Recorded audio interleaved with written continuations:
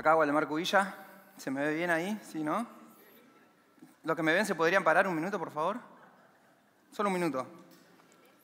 Bien, nos ven todos, che. Muchas gracias.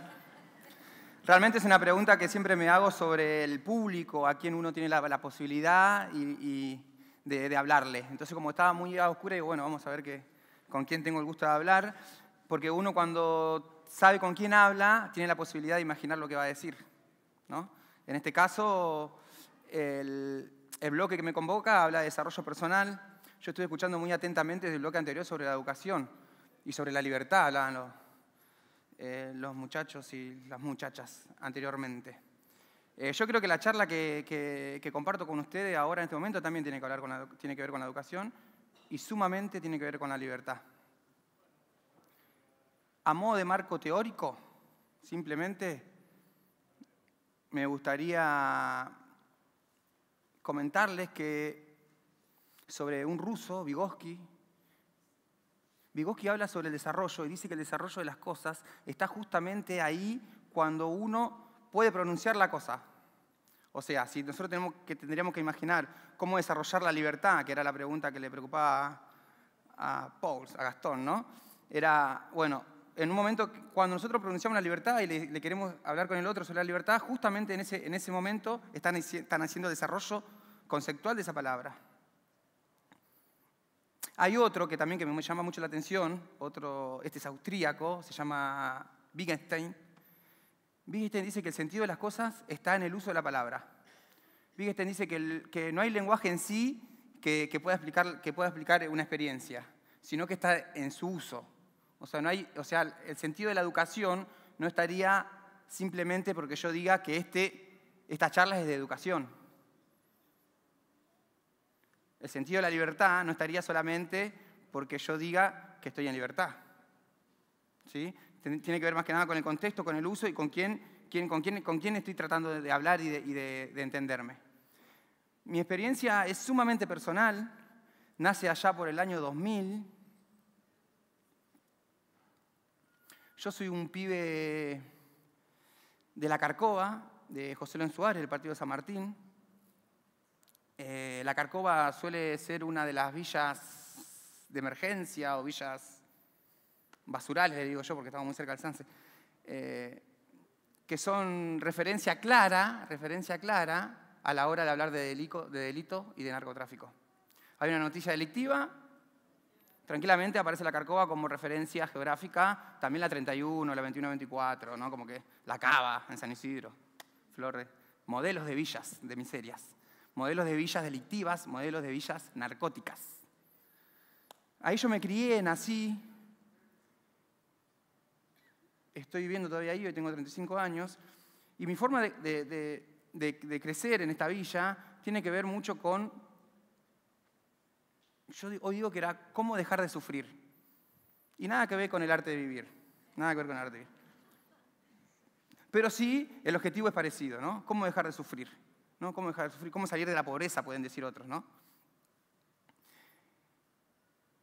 Y realmente, la educación es una posibilidad concreta. ¿Sí? En los barrios populares, el sueño de mi hijo, el doctor, sigue siendo eh, concreto. ¿sí? Los padres y las madres entienden que en la escuela está la posibilidad de, una, de, otra vida, ¿no? de mejorar la, calidad de vida. Ya sea, esta, eh, la discusión anterior eh, no, nos excede ampliamente. O sea, nosotros hablamos de la educación, o sea, pibe, anda a la escuela. Después discutimos qué tipo de escuela y qué tipo de pero pibe, anda a la escuela.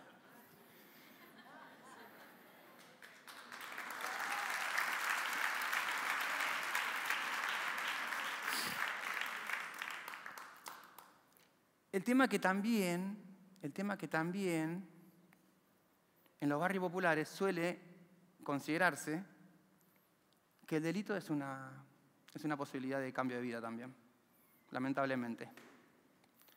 En la villa de emergencia, muchos de los jóvenes y las jóvenes entienden y entendemos que el delito es una posibilidad concreta de cambiar nuestra vida.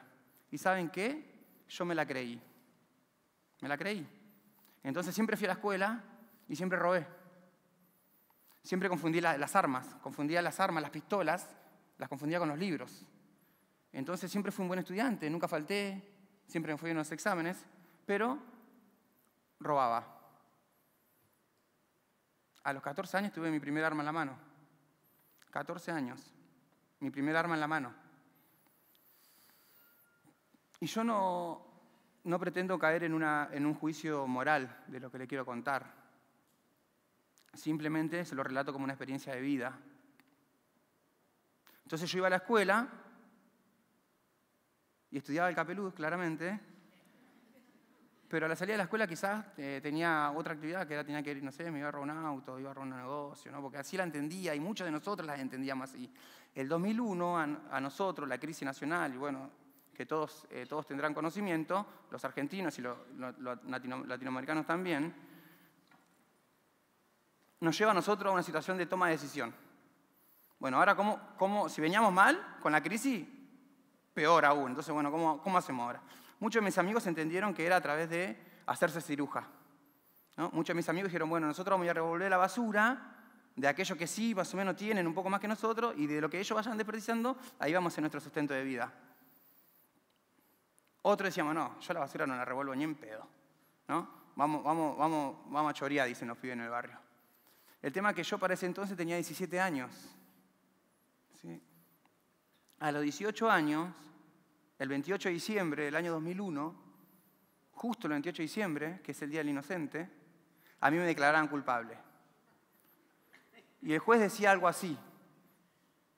Señor, me decía, señor Waldemar Cubilla, a usted lo condeno penalmente responsable del delito de robo agravado por el uso de arma de guerra, por resistencia a la autoridad, por daños. Y hay una palabra que siempre me llamó la atención que decía criminis causes. Criminis causes. No sé si hay algún abogado acá, pero le va, a sonar. O si hay alguno que haya estudiado o que venga de Italia, más que nada. Criminis, criminis causes, criminis causes, criminis causes. Cuánto, va, ¿Cuánto años vale esta palabra para mí? Decía yo. ¿Cuántos años de cárcel? Porque yo sabía que el robo calificado eran, por ejemplo, ocho años de cárcel. Y la resistencia, ponerle, era un año más, o sea, nueve. ¿Y el crimen y causa cuánto vale? Decía yo, ¿no? ¿Cuánto vale eso? ¿Cómo se traduce en años de pena?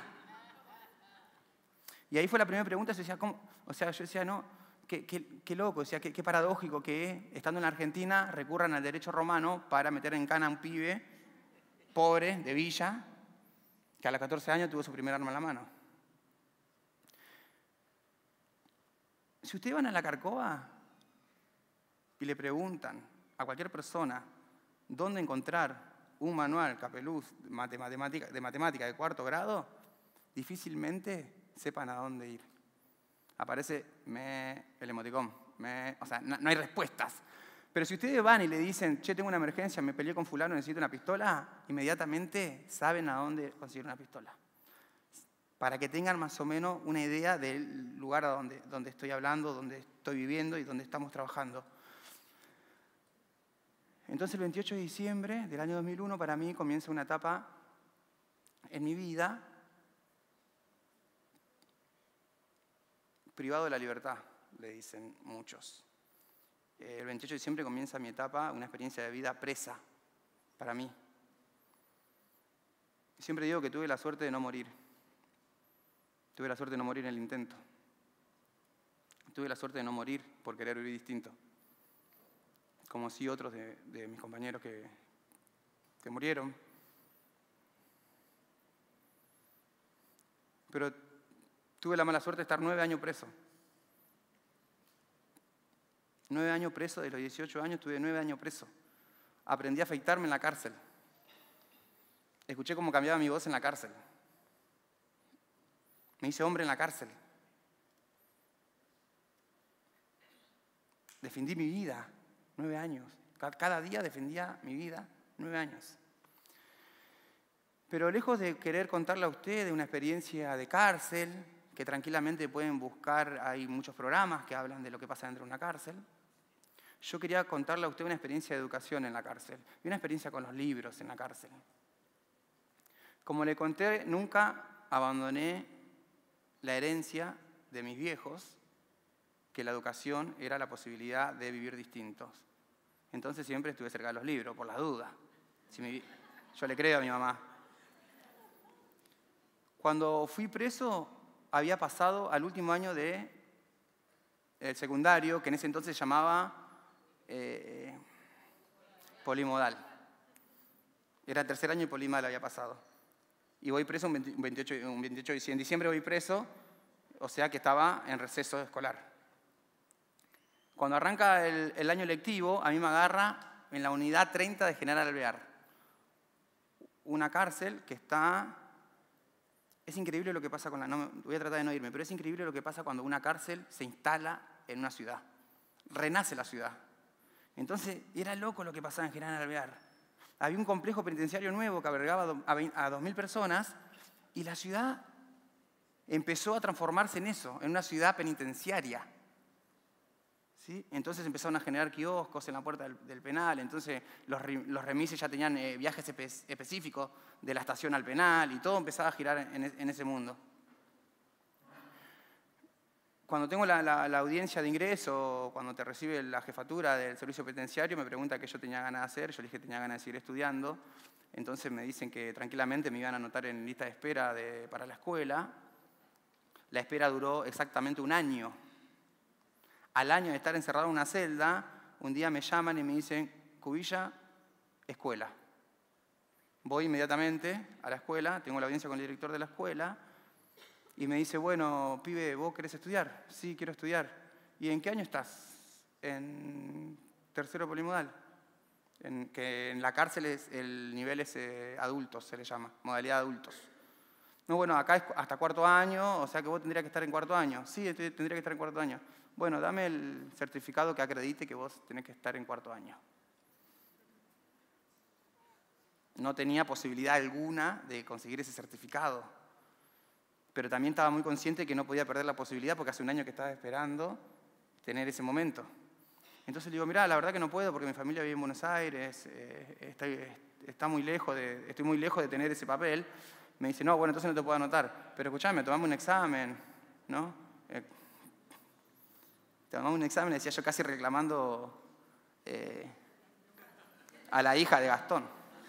Era como, tomamos el examen, decía yo, que yo te quiero demostrar que estoy en, quinto año. Y me dice, no, no, mirá, mirá, me dice, eh, lo único que te puedo ofrecer, me dice, porque veo que tenés ganas de estudiar, es que arranques primer año de vuelta. Trato hecho, inmediatamente, trato hecho. Entonces empecé primer año de vuelta. En la, primera primer clase estaba sentado ahí, calladito la boca. La segunda clase ya le tiraba un par de pistas al, compañero que estaba al lado. La tercera clase ya estaba como ahí coqueteando con, la docente, como no, te puedo dar una mano si querés, qué sé yo. La cuarta clase ya estaba como sumamente aburrido, ¿no? Pero de hecho que sí hice dos veces secundario. Completo. Hice hasta cuarto año en libertad y volví a ser hasta, cuatro, hasta cuarto año en la cárcel. Seguramente no muchos de acá hicieron dos veces secundario. Estoy casi seguro. Estoy casi seguro. Pero no solamente eso. Hice secundario dos veces en la cárcel, pero también empecé una experiencia, no hay libros acá, pero una experiencia con los libros muy particular. Cinco minutos. En la unidad 48 de General San Martín, justo donde yo vivo, en José González está la Carcova, la Carcova está el Seance, en el Seance está, la cárcel, otro complejo penitenciario que alberga a 2.000 personas, entre nenas y nenes. A mí me agarra con el secundario terminado y sin mucho que hacer en cuestión educativa, porque imagínense, la cuestión universitaria entre la cárcel es muy, es muy escasa. ¿no? Entonces, siempre digo ahí que recurrimos a un saber bien popular. El argentino y la argentina saben desde que nacen que tienen derecho a la educación. Tienen derecho a estudiar. Y no pasa en toda parte del mundo. Mi vieja cuando yo nací no se preocupó por ahorrar platita todos los años para que yo cuando cumpla los seis años pueda ingresar a la escuela. Y eso el preso también lo sabe. El preso y la presa saben que tienen derecho a estudiar. Y nosotros nos encontramos cuatro presos en la unidad 48 que habíamos terminado el secundario y dijimos, ¿cómo hacemos para empezar eh, una carrera universitaria? Escribimos una carta dirigida a la autoridad de la Universidad Nacional de San Martín, por cuestiones jurisdiccionales que estaban ahí, y le dijimos, mediante presente, nos dirigimos a usted con el mayor respeto que su persona y cargo merecen, es el modelo clásico de la cárcel. Para que se nos garantice el derecho a la educación. Y lo mandamos a un, al Lalo, un mensajero. Postdata, no maten al mensajero. Porque ahí estamos.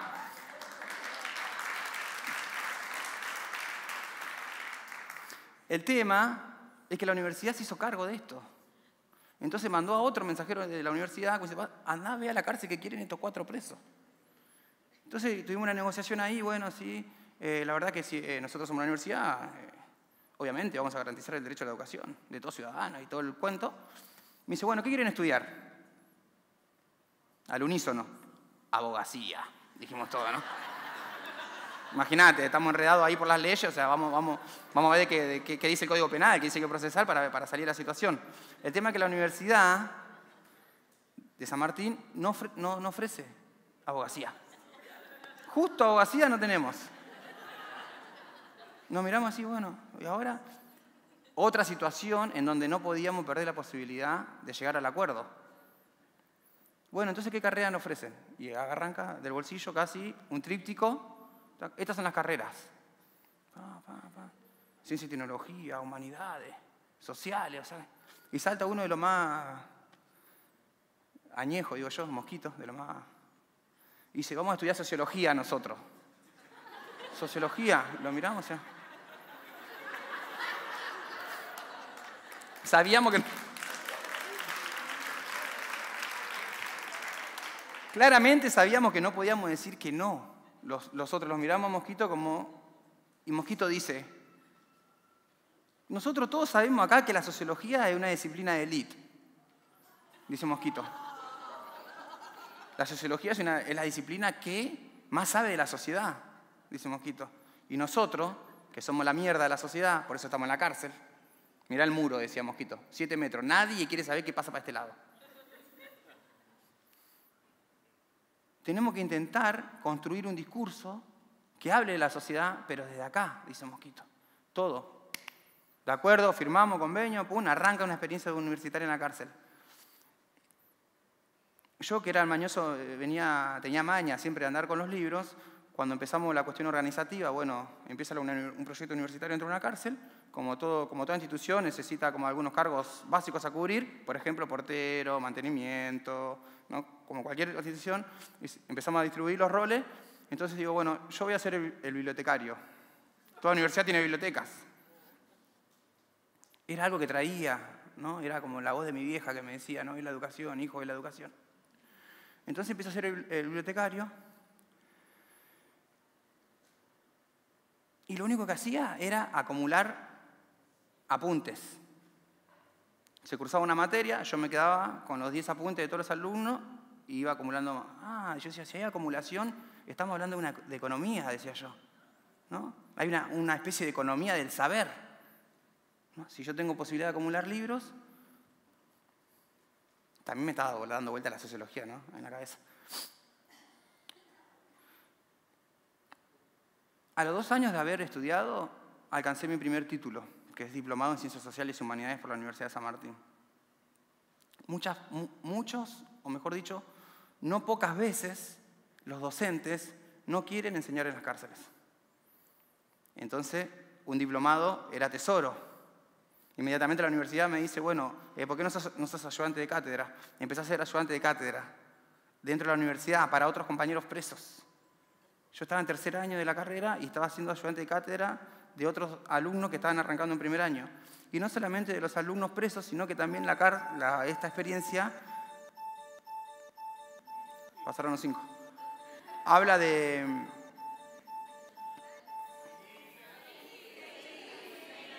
Parece una alarma, parece una alarma. Tres, negociamos, tres.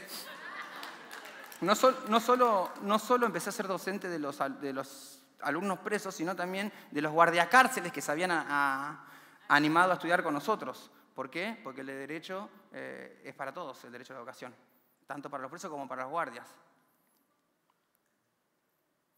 Y entonces el guardia que tenía la llave del pabellón donde estaba yo, me decía, Cubilla, ¿me corrigió, ¿me corrigió el examen?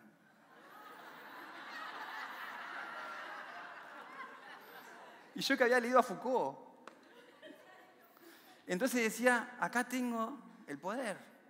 La llave mía era la virome. Era una virome la llave mía, ¿no? Yo elegía si la, la nota iba con azul o iba con rojo. Al cuarto año me fui en libertad. Al cuarto año de la carrera se cumplieron los nueve años míos de cárcel. Cuando me fui en libertad, sí, no, fueron todos aprobados. Cuando me fui en libertad, realmente aparece un miedo, que era la pregunta por acá. ¿Cómo hago para no volver a caer en cana? Decía yo. Entonces, con la cuestión de la educación decidimos con, uno, con, con unos vecinos tomar un pedazo de basural de la Carcova y transformarla en una biblioteca popular. Y así nace Biblioteca Popular La Carcova.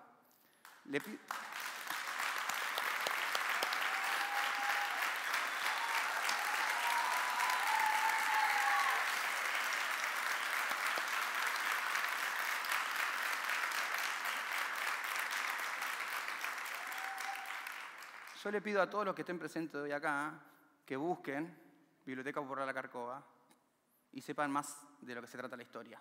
El tema es que la Biblioteca Popular de la Carcova, y ahí sí ya termino, nace en la Carcova en una villa emergencia, en, en un punto geográfico de referencia delictiva, ¿no? a contrapelo. Recontra a contrapelo. Es la única biblioteca popular o la única biblioteca que está en todo este cordón de villa que se denomina el área Reconquista. Y eso nosotros no lo sabíamos como sin querer, diría Benjamin, o sin querer queriendo, diría el chavo. Entonces hoy la Biblioteca Popular La Carcova, y ahí sí coincido con el bloque anterior, nosotros pensamos, dijo, bueno, vamos, mi vieja no sabe leer. Entonces yo decía, bueno, si alfabetizamos a, a, todos los adultos, a todos los adultos que no saben leer, como mi mamá, el proceso de alfabetización es un proceso de emancipación, de liberación, vamos a tener la mano de obra para después armar esa biblioteca, decíamos nosotros. Cosa que cuando nosotros arrancamos, la coparon los chicos, los lo más, lo más niños. Ahí coincidimos con los dos proyectos pedagógicos. ¿Sí? La Biblioteca Popular está fundada por niños, por chicos que estaban jugando en la cancha, en el basural, y cuando empezamos a nosotros a limpiar basural, se preguntaron qué van a hacer acá, nosotros dijimos una biblioteca popular, ¿y qué es una biblioteca? Preguntaron. Y una biblioteca es un lugar donde nosotros vamos a estar. Por eso ahí se empezó a desarrollar, de acuerdo a Vygotsky, que nombraba al principio, todo un, sentido y toda una significación de una biblioteca en la villa. ¿Sí? La biblioteca La Carcova hoy tiene cinco años de vida. Yo digo que si ustedes preguntan hoy en La Carcova dónde pueden conseguir un Manuel Capeluz de quinto grado de matemáticas, muchos van a decir en la biblioteca que está en la cancha. Nuestro objetivo, nuestro sueño, nuestra misión es que la Carcova, como tantas otras villas, como la 2124, como la 1114, como la Cava, como la 31, y puedo enumerar distintas, no solamente sean referencia delictiva, que cuando se hablen de las villas de emergencia también se sepan que hay mucha gente trabajadora, que hay mucha gente que está a través de la educación, del arte y la cultura queriendo transformar esa forma de vida, pero no de modo egoísta solamente para nosotros, porque si nosotros, los villeros, estamos mejor, va a estar mejor toda la sociedad. Yo soy un pibe que hoy ya no roba.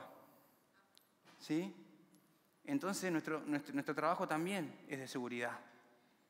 ¿Sí? Entonces si uno está mejor, la sociedad va a estar mejor. Y ya para terminar, le voy a compartir una poesía que salió una vez en un apoyo escolar.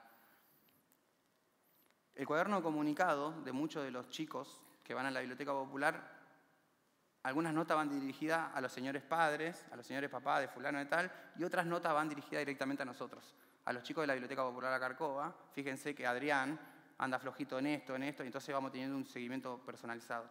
Una de las actividades era hacer una poesía. Entonces en el grupo sale algo así, con tono de adivinanza. Tiene libros, muchos libros, por todos lados, tiene libros en el techo, tiene libros en las paredes y tiene libros en el piso, que es una biblioteca popular. Nosotros decimos que le estamos faltando el respeto a los libros. ¿sí? Es un sacrilegio a la lectura. Vemos los libros ahí y nos atrevemos a tocarlos y a sacarlos y regalarlos, tirarlos. Le damos otro uso a los libros. Y el sueño es que pueda haber bibliotecas populares en todas las villas y que las bibliotecas populares estén comunicadas entre sí. es un sueño lejano y un sueño más de hoy, quizás que cada uno de ustedes pueda contarles a cualquier persona que vean que no estuvo hoy acá, que existe una biblioteca popular en la Carcova, que se llama La Carcova, y que está intentando de alguna manera aportar toda esta experiencia de sufrimiento, de pobreza, de delincuencia y de narcotráfico y de trabajo, toda esta experiencia hacia la sociedad, simplemente para que todos vivamos un poquito mejor.